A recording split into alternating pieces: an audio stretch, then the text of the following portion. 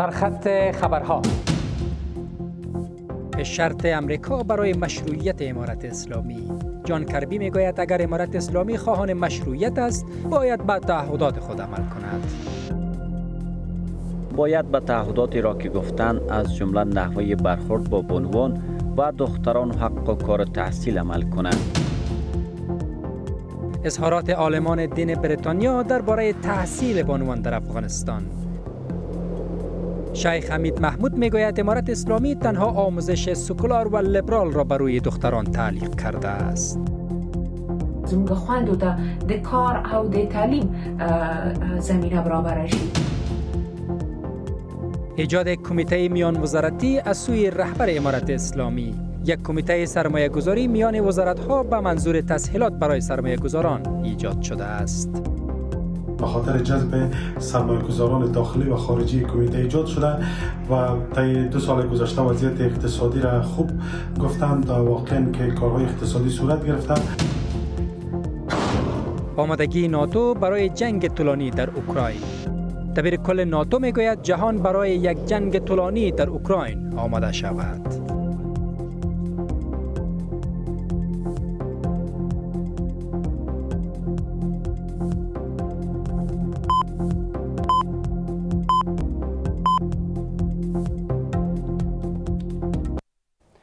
درود و سلام بر شما. وقتتان بخیر. به خبرهای این ساعت از یک خوش آمدید. من قسیمی عزیزی هستم. مشروع خبرها. جان کربی سخنگوی شورای امنیت ملی کاخ سفید می‌گوید که اگر امارت اسلامی به تعهداتش به ویژه در زمینه حقوق بانوان و دختران عمل نکند به رسمیت شناخته نخواهد شد. در این حال انورالحق کاکر نخست وزیر موقت پاکستان گفته که در مورد به رسمیت شناختن حکومت سرپرست افغانستان فکر نمی کند اما در مورد نگرانی های اسلام آباد با کابل در گفتگو خواهد بود. از سوی هم زمیر کابلوف نماینده ویژه روسیه در افغانستان در آستانه نشست فرمت مسکو درباره افغانستان مشروعیت جهانی امارت اسلامی را زودنگام عنوان کرده است. این گفته ها در حال مطرح می شود که امارت اسلامی همواره تاکید کرده که همه شرایط بر رسمیت شناخته شدن دیپلماتیک را تکمیل کرده است. امیرا یوسفی جزئیات می دهد از بهانه تراشی جهانی تا اقدام های سختگیرانه امارت اسلامی هرچند از روی کار آمدن دوباره امارت اسلامی در افغانستان بیشتر از دو سال می گذرد. اما جهان تاکید دارد که هنوز زمان به رسمیت شناخته شدن افغانستان زود است. جان کربی سخنگوی شورای امنیت ملی کاخ سفید در گفتگو با صدای امریکا می‌گوید که اگر امارت اسلامی به تعهداتش و ویژه در زمینه حقوق بانوان و دختران عمل نکند به رسمیت شناخته نخواهد شد. ما طالبان را من حیث یک دولت به رسمیت نمی‌شناسیم. اگر طالبان می‌خواهند به رسمیت شناخته شوند اگر طالبان می‌خواهند با آنان به عنوان یک حکومت مشروع دیده شود باید به تعهداتی را که گفتند از جمله نحوه برخورد با بانوان و دختران حق و کار تحصیل عمل کنند در این حال انوارالحق کاکر نخست وزیر موقت پاکستان گفته که در مورد به رسمیت شناختن حکومت سرپرست افغانستان فکر نمی کند اما به دلیل حاکمیت امارت اسلامی در آن کشور با مقام های حکومت کنونی افغانستان گفتگو خواهد کرد. ما روی موضوع به رسمیت شناختن حکومت طالبان در افغانستان فکر نمی کنیم. اما حاکمیت در کابل به دست طالبان است و گفتگوها در سطح دولت نیز با طالبان انجام خواهد شد. از سوی هم زمیر کابلوف نماینده ویژه روسیه در افغانستان در آستانه نشست فارمت مسکو که درباره افغانستان برگزار می شود در گفتگو با یکی از رسانه های روسی تاکید کرده که قرار نیست امارت اسلامی به رسمیت شناخته شود. زیرا این کار زود است. عدم اصلاحات و تغییرات در نظام افغانستان و همچنان عدم پذیرفتن شرایط جانبی بر رسم شناختن طالبان این فضای گنگ و این حالت و خبرهای زد و نقیسی بودن گروه های توریستی بود نبودن گروه های توریستی این همه تشویش را برای کشورهای همسایه و حتی تهدید بر امنیت داخلی کشورها را نشان میتن گفتنی است که امارت اسلامی همواره می‌گوید که شرایط بر رسمیت شناخته شدن از سوی جهان را تکمیل کرده و نظام کنونی افغانستان فراگیر است مقام های امارت اسلامی تاکید دارند که تشکیل حکومت فراگیر تنها بهانه جهان برای عدم برسمیت شناختن حکومت کنونی افغانستان است. بر اساس فرمان رهبر امارت اسلامی یک کمیته سرمایه گذاری میان وزارت ها زیر چتر معاونت اقتصادی ایجاد شده است. معاونت اقتصادی ریاست وزیران می‌گوید این کمیته به منظور ایجاد تسهیلات لازم برای سرمایه گذاران داخلی و خارجی ایجاد شده تا از بروکراسی در اداره های دولتی جلوگیری شود.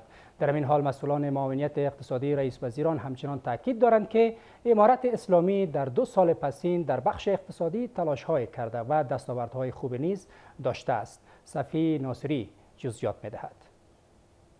ایجاد کمیته میان وزارتی از سوی رهبر امارت اسلامی بر اساس فرمان رهبر امارت اسلامی یک کمیته سرمایه گذاری میان وزارت ها زیر چتر معاونیت اقتصادی ایجاد شده است معاونیت اقتصادی ریاست وزیران می‌گوید که این کمیته در نشست به هدف ایجاد سهولت های لازم برای سرمایه گذاران داخلی و خارجی زیر چتر معاونیت اقتصادی ایجاد شده تا از بروکراسی در اداره های دولتی جلوگیری شود.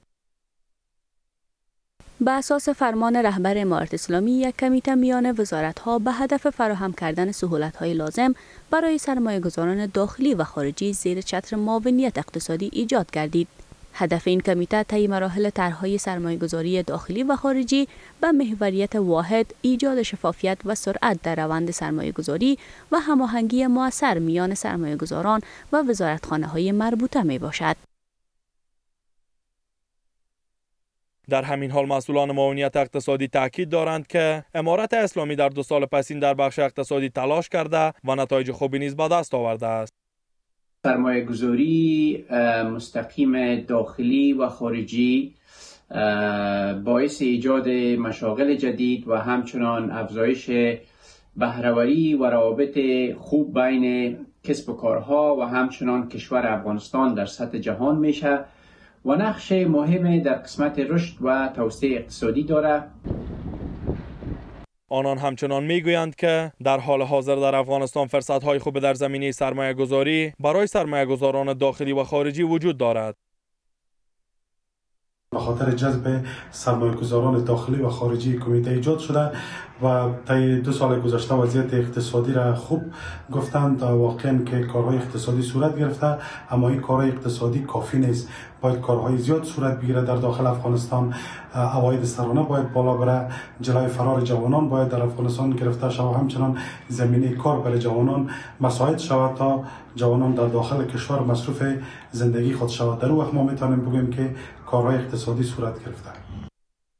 با این همه در پایان نشست ایجاد این کمیته فیصله شد تا تمامی وزارت های مربوط این کمیته پیرامون غنی کردن هرچی بیشتر این کار نظریات خود را در ظرف سه روز به شکل کتبی با دارالنش های کمیته مذکور شریک کرده تا یک کارشیوه جامع ترتیب و جهت منظوری به کمیسیون اقتصادی ارائه شود. عبدالرحمن قاسمی معاون ملکی معینیت مبارزه با مواد مخدر وزارت داخله با معاون سفیر ایران و معاون سفیر پاکستان. دیدارهای جداگانه داشته است. وزارت داخله می‌گوید در این دیدارها روی همکاری میان کشورهای همسایه در زمینه مبارزه با مواد مخدر گفتگو شده است. همکاری ایران و پاکستان در زمینه ریشهکن کردن مواد مخدر با افغانستان. عبدالرحمن قاسمی معاون ملکی مونیت مبارزه با مواد مخدر وزارت داخله با غلام رضا نجاری معاون سفیر ایران و محمد جنید معاون سفیر پاکستان دیدارهای جداگانه داشته است. وزارت داخله می‌گوید در این دیدارها روی همکاری میان کشورهای همسایه در زمینه مبارزه با مواد مخدر گفتگو شده است. ما خواهان همکاری های کشورهای منطقه در زمینه ریشهکن کردن مواد مخدر در افغانستان هستیم و مقام های دو کشور تاکید کردند که در این زمینه با ما همکار می باشند. همچنان آگاهان بر این باورند که امارت اسلامی در زمینه ریشهکن کردن مواد مخدر باید اقدام های جدی و عملی کند.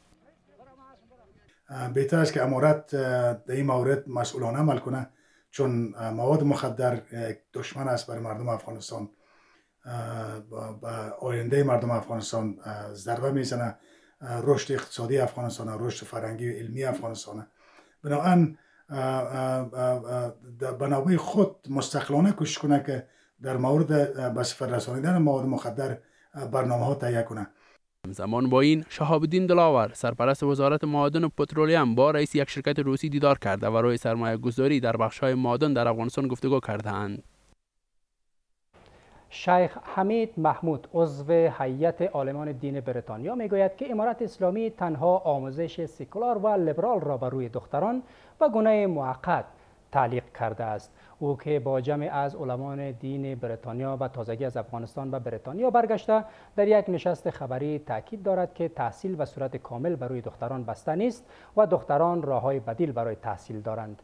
به گفته او دختران در افغانستان می توانند در رشته های طب آموزگاری و دینی تا سطح دانشگاه تحصیل کنند.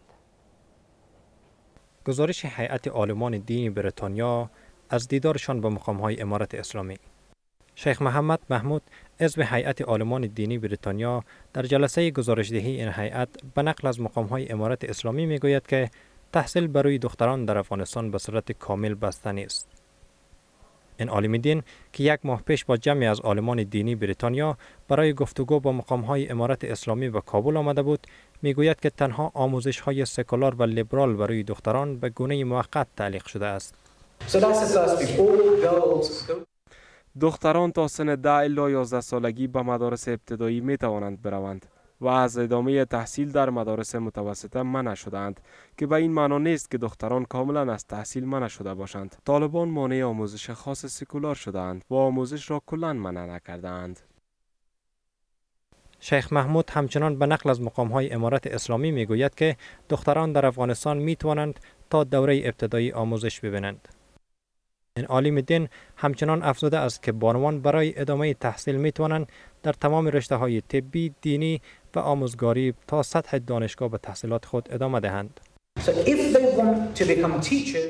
اگر دختران بخواهند آموزگار شوند نیست تا دانشگاه می توانند ادامه تحصیل بدهند و همچنین دختران می توانند به مدارس مذهبی و دارالعلوم بروند دختران همچنان می توانند در رشته های پزشکی ادامه تحصیل دهند این در حالی است که دیدبان حقوق بشر از وضع محدودیت ها بر بانوان و دختران در افغانستان انتقاد کرده است.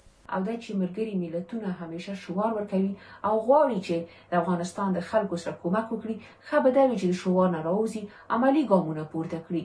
تر څو زموږ تاسو هیواد کې زموږ تاسو هیوادوال په خپل کور په منځ کې وشي کړی چې همدغه آرامش پیدا کړي او دغه څه شو په پسې چې دوی نورو هیوادونو ته ځي چې هغه وشي کړی په خپل کور منځ کې خپل امیدونه پوره کړي این هیئت عالمان دینی بریتانیا یک ماه پیش از سوی یک مؤسسه خیریه در شرق لندن به حیث یک مأموریت حقیقتیابی برای درک بهتر جامعه افغانستان به کابل آمده بود و دیدارهایی هم با مقام های امارت اسلامی داشت. گفتنی است که دو سال می شود دختران بالاتر از صنف ششم از رفتن به مکتب محروم هستند.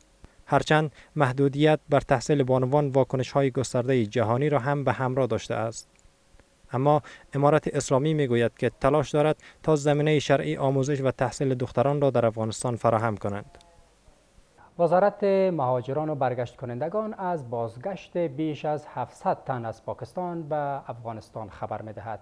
این وزارت می افزاید که این افراد به تاریخ 25 سنبله به کشور بازگشتند و از این میان 470 تن آنان برای دریافت کمک به سازمان بین المللی مهاجرت معرفی شدند. این در حالی است که روز گذشته انورالحق کاکر نخست وزیر موقت پاکستان گفته که پالیسی را روی دست گرفته که بر اساس آن مهاجرت غیر قانونی شهروندان افغانستان به پاکستان گرفته خواهد شد. او همچنان گفته بود که مهاجران غیر قانونی افغانستان از پاکستان رد مرز خواهد شد. صندوق پشتیبانی از کودکان سازمان ملل یا یونیسف می‌گوید 330 میلیون کودک در جهان در فقر شدید زندگی می کنند. این سازمان گفته که 16 میلیون کودک افغان شامل این آمار هستند که به کمک های بشر دوستانه فوری نیاز دارند. یونیسف همچنان می افزاید که افزایش بیکاری در افغانستان سبب شده تا از هر پنج کودک در افغانستان یک تن آنان مجبور به کار شاقه شوند. گسترش فقر در میان کودکان در جهان صندوق پشتیبانی از کودکان سازمان ملل متحد یا یونیسف می‌گوید کودکان به عنوان یک سوم جمعیت جهان می باشند که حدود 333 میلیون آنان در فقر شدید زندگی می کنند. این سازمان در تازه ترین گزارش خود گفته که از میان این کودکان 16 میلیون آنان کودکان افغانند که به کمک های بشری فوری نیاز دارند.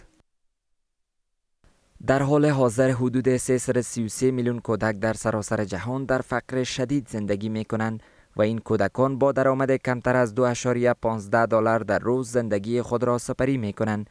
یک بار دیگر از کشورهای جهان می خواهیم تا برای همیشه به فقر کودکان پایان داده شود.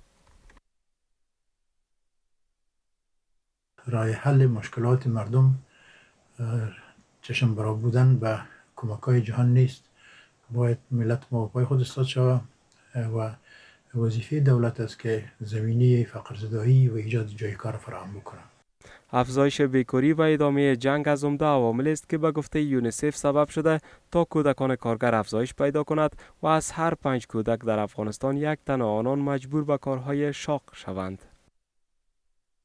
در این میان شکنندگی وضعیت اقتصادی در افغانستان به ویژه پس از تسلط طالبان از جمله عواملی است که بر شمار کودکان فقیر افزوده است.